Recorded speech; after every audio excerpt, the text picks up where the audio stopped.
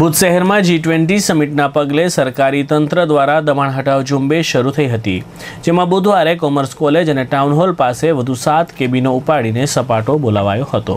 બીજી તરફ રઘુવંશીનગર ચોકડી અને સહયોગનગર ચોકડી પાસે પણ નોટિસો ફટકારવામાં આવી હતી. ભુજ નગરપાલિકા સહિતના તંત્રો દ્વારા કોડકી રોડ વિસ્તારમાં પણ દબાણો હટાવવાની કામગીરી કરવામાં આવી હતી.